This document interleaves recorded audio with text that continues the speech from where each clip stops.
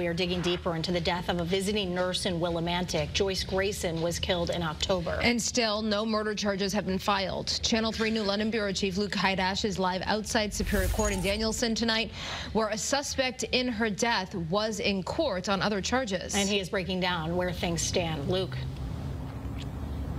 Aaron, Stephanie, Michael Reese had a very quick appearance here in court today. The case was continued to April, but in the meantime, there is legislation and a civil lawsuit in the works to make sure another death like Joyce Grayson's never happens.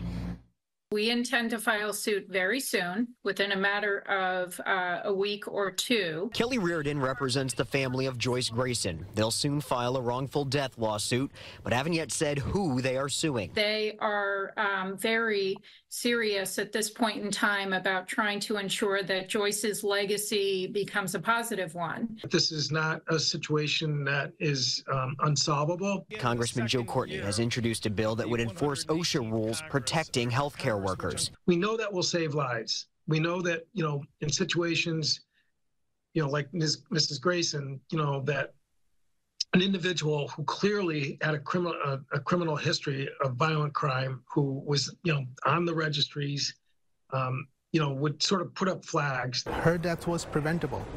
She should have been here with her family. And, and the more we learn about this, it's very clear that you should have policies to make sure that every healthcare worker, every home healthcare worker should be protected. Connecticut legislators are also working on change, introducing bills to make sure home health aides know the situations they're getting into and are more informed about who their clients are.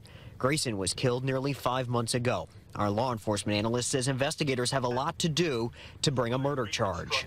Gathering of physical evidence and forensic evidence. And all that evidence has to be examined. In addition to that, you have to interview any and every possible witness. You have reached the state of We called the medical examiner's office today. Grayson's cause and manner of death is still sealed. Reese's case today was continued to April 19th here in Danielson, but next week he will appear virtually for a probation violation. Live in Danielson tonight, Luke Hydash, Channel 3 Eyewitness News. Luke.